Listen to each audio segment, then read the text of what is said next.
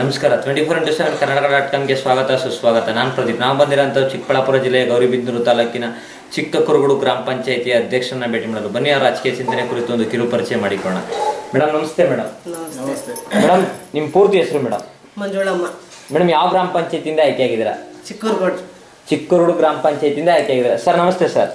ನಮಸ್ತೆ. ಸರ್ ನಿಮ್ಮ ಪೂರ್ತಿ ಹೆಸರು sir? Shriram Reddy. Sir madam ಅವರು ಇದೇ ಮೊದಲೇ ಅಧ್ಯಕ್ಷರಾಗಿದ್ದಾರೆ. ಹೇಗೆ ಅನಿಸ್ತಾ ಇದೆ ಸರ್ ನಿಮಗೆ? ಹೇಗಾಗ್ತದೆ ನಮ್ಮ ನಮ್ಮ ಕಿರು ಒಂದು ಫ್ಯಾಮಿಲಿಯಿಂದ ನಾವು ಅಧ್ಯಕ್ಷರಾಗಿದ್ದೀವಿ ನಾವು ಸ್ವಲ್ಪ ಸಂತೋಷ ಪಡಬೇಕು ಅಷ್ಟೇ. Okay sir. ಸರ್ ಇದೇ ಮೊದಲನೇ ಬಾರಿ ಗೆದ್ದಿದ್ದೀರಾ ಸರ್? ನೀವು ಗೆದ್ದಂತ ಸಂದರ್ಭದಲ್ಲಿ ನಿಮಗೆ ಒಟ್ಟು ಮತ ಅಂತ ಎಷ್ಟು ಬಂದಿತ್ತು ಸರ್? ಒಟ್ಟು ಮತ ನಮಗೆ ನಾನ್ನೂರ ಮೂವತ್ತು ಮತ ಬಂದಿತ್ತು. ಎಷ್ಟು ಅಂತರದಿಂದ ಗೆದ್ದಿದ್ದೀರಾ ಸರ್? ನೂರೈವತ್ತು ಮತ ಅಂತರದಲ್ಲಿ ಗೆದ್ದಿದ್ದೀವಿ. ಯಾವ ಪಕ್ಷಕ್ಕೆ ಒಂದು ಬೆಂಬಲ ನೀಡ್ತಾ ಇದ್ದೀರಾ? ನಾವು ಕಾಂಗ್ರೆಸ್ ಪಕ್ಷಕ್ಕೆ ಬೆಂಬಲ ಕೊಟ್ಟಿದ್ದೀವಿ. ಸರಿ ರಾಜಕೀಯ ಒಡನಾಟ ಅಂತ ಒಂದು ಎಷ್ಟು ವರ್ಷದಿಂದ ಇರ್ಬೋದು ಸರ್ ನಿಮಗೆ?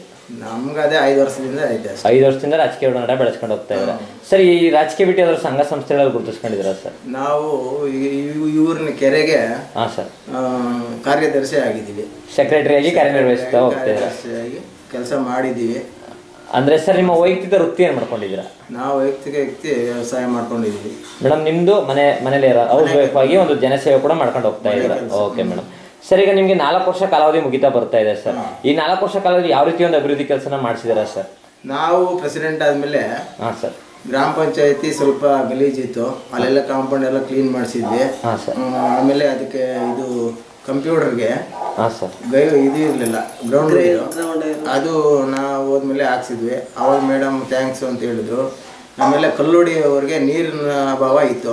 ಹಾಂ ಸರ್. ಅವರು ಬಂದು ಮುತ್ತಿಗೆ ಹಾಕಿದ್ದಾರೆ. ನಮ್ಮ ಪಂಚಾಯತ್ ಪೇಪರ್ ಪೇಪರ್ಗೆ ಹಾಕ್ಸಿದ್ರು. ಆಮೇಲೆ ನಮ್ಮನ್ನ ಪ್ರೆಸಿಡೆಂಟ್ ಕಳಿಸಿದ್ರು ನಾವು ನಾವು ಹೋಗಿ ಏನ್ ನಿಮ್ ಸಮಸ್ಯೆ ಅಂತ ಕೇಳಿದೆ. ಹಾಂ ಸರ್.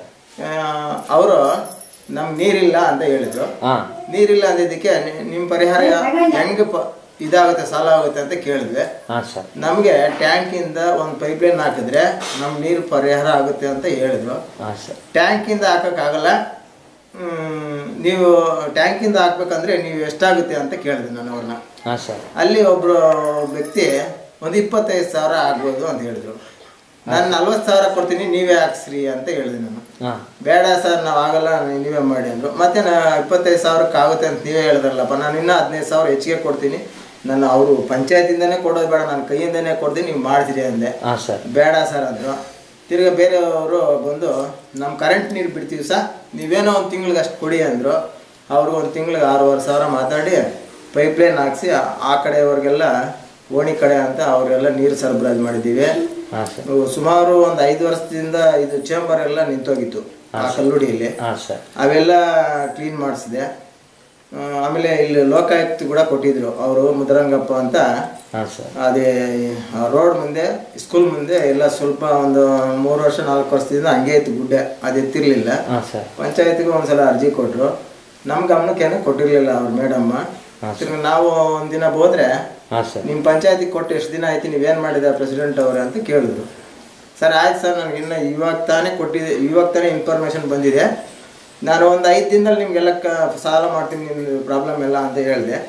ತಿರ್ಗಿ ಅದೆಲ್ಲ ಒಂದು ಐದು ದಿನದಲ್ಲಿ ಡಾಕ್ಟ್ರ್ ಇಟ್ಟು ಅದೆಲ್ಲ ಕ್ಲೀನಾಗಿ ಓಡಿಸ್ಬಿಟ್ಟೆ. ಇವಾಗೆಲ್ಲ ಸಾಲ ಆಗಿದೆ ಏನು ಪ್ರಾಬ್ಲಮ್ ಏನಿಲ್ಲ. ಈ ರೀತಿಯಾದ ಒಂದು ಅಭಿವೃದ್ಧಿ ಮಾಡಿದಿರ ಸರ್. ಸರ್ ಈಗ ನಿಮಗೆ ಇನ್ನೂ ಸ್ವಲ್ಪ ದಿನ ಕಾಲಾವಧಿ ಇದೆ ಸರ್. ಆ ಸ್ವಲ್ಪ ದಿನ ಅಯ್ಯ, ಒಂದು ಕಾಲಾವಧಿಯಲ್ಲಿ ಯಾವ ರೀತಿ ಒಂದು ಅಭಿವೃದ್ಧಿ ಮಾಡಬೇಕು ಅಂತ ಅಂದ್ಕೊಂಡಿದ್ದೀರಾ ಸರ್? ನಾವು ಊರಲ್ಲಿ ಸ್ವಲ್ಪ ಸಿಲಿಂಡರ್ಗಳಿಲ್ಲ ಅವು ಸ್ವಲ್ಪ ಮಾರ್ಬೇಕು ಅಂತ ಅನ್ಕೊಂಡಿದೀವಿ ಹಾ, ಬಡ ಜನ ಇದ್ದಾರೆ ಅವ್ರ ಮನೆಗಳು ಬಂದ್ರೆ ಅವ್ರಿಗೆ ಸ್ವಲ್ಪ ಮನೆಗಳು ಹಾಕ್ಸೋಣ ಅಂತ ಇದ್ದೀವಿ.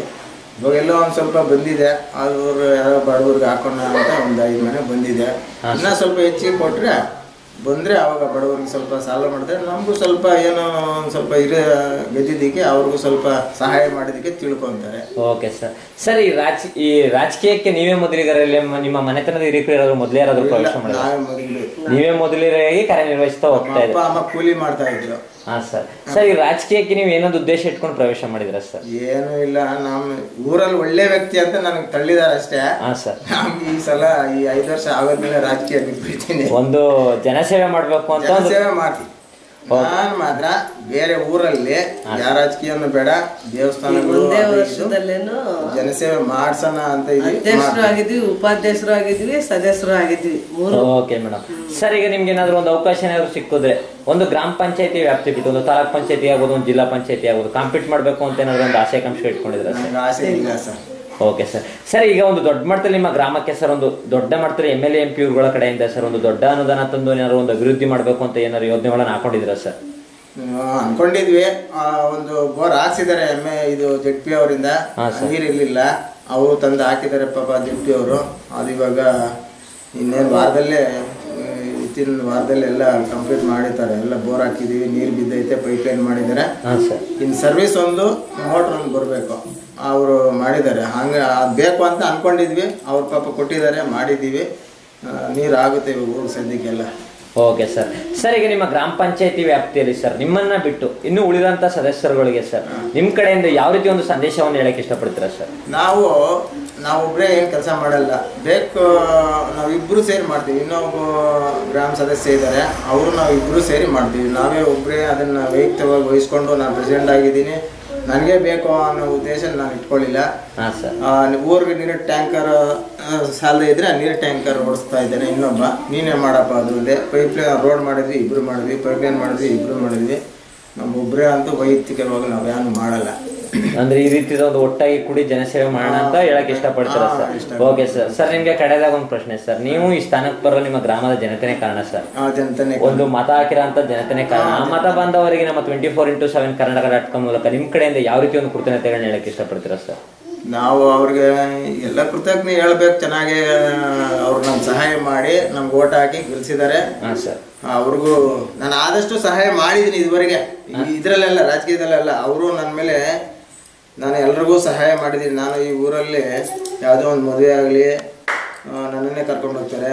ಬೇರೆ ಇನ್ನು ಎಲ್ಲಿಗಾನ ಹೋಗ್ಬೇಕಾದ್ರೂ ನನ್ನನ್ನೇ ಕರ್ಕೊಂಡು ಹೋದರೆ ಎಲ್ಲಕ್ಕೂ ಚಿಕ್ಕವರು ದೊಡ್ಡವರು ಬಡಜಾತಿ ಎಲ್ಲರೂ ಒಂದು ಪಾಯ ಹಾಕ್ಬೇಕು ಅಂದರೆ ಸರ್ ನಾನು ಪಾಯ ಹಾಕ್ಬೇಕು ಒಂದು ಸಾವಿರ ಎರಡು ಸಾವಿರ ಕೊಡಿ ಅಂತಾರೆ. ಏನೋ ನಮ್ಮ ನಮ್ಮ ಹತ್ರ ಇರೋದೊಂದು ಐನೂರು ರೂಪಾಯಿ ಎಷ್ಟೋ ಕೊಡ್ತೀವಿ. ಇನ್ನೇ ಯಾರನ್ನ ಹಾಸ್ಪಿಟ್ಲಿಗೆ ಹೋಗ್ಬೇಕು ಅಂತಾರೆ. ಅವಾಗ ಏನೋ ಒಂದು ಐನೂರು ಕೇಳಿದ್ರೆ ಒಂದು ಇನ್ನೂರ ಮುನ್ನೂರ ಕೊಟ್ಟು ಕಳಿಸ್ತೀವಿ. ಮದುವೆ ಅಂತಾರೆ ಅವಾಗ ಒಂದು ಐನೂರು ಕೊಟ್ಟು ಕಳಿಸ್ತೀವಿ. ಈ ಥರ ಎಲ್ಲ ಸಹಾಯ ಮಾಡಿದ್ರೆ ಮೊದಲೇನೆ. ರಾಜಕೀಯಕ್ಕೆ ಮೊದಲೇನೆ ಮಾಡಿದ್ವಿ ಈ ರೀತಿಯಾದ ಒಂದು ಕೃತಜ್ಞತೆಗಳನ್ನ ಅವರು ಮನಸ್ಸಲ್ಲಿ ಇಟ್ಕೊಂಡು ನಮ್ಮನ್ನ ಮಾಡಿದ್ದಾರೆ. ಇನ್ನು ಮುಂದೇನು ಮಾಡ್ತೀವಿ ನೀವೇ ಇರಬೇಕು ಅಂದರು ನಾವು ಸಾಕು ಸರ್ ರಾಜಕೀಯ. ಊರಲ್ಲಿ ಬೇಕಾದ್ರೆ ಸೇವೆ ಮಾಡ್ತೀನಿ ಅಂತ ಹೇಳಿದ್ದೀನಿ ಸರ್. Okay sir. ನೋಡಿದ್ರಲ್ಲ ವೀಕ್ಷಕರೇ ಒಬ್ಬ ಗೃಹಿಣಿಯಾಗಿ ಸಾಕಷ್ಟು ಅಭಿವೃದ್ಧಿ ಕೆಲಸ ಮಾಡಿದ್ದಾರೆ ಮಾಡಿಸ್ತಾನೆ ಇದ್ದಾರೆ. ಒಂದು M L A M P ಇವ್ರುಗಳ ಕಡೆಯಿಂದನೂ ಮಾಡಿಸ್ತಾ ಒಂದು ದೊಡ್ಡ ಮಟ್ಟದಲ್ಲಿ ಕೂಡ ಅಭಿವೃದ್ಧಿಗಳನ್ನ ಮಾಡಿಸ್ತಾ ಹೋಗ್ತಾ ಇದ್ದಾರೆ. ಇದೇ ರೀತಿ ಇವರು ರಾಜಕೀಯ ಜೀವನ ಸಾಗಲಿ ಅಂತ ಇನ್ನೊಂದು ಎರಡು ಮಾತುಗಳನ್ನ ಮುಗಿಸ್ತಾ ಇದ್ದೀನಿ. ನಮಸ್ಕಾರ. ಸರ್ ನಮಸ್ಕಾರ ಸರ್.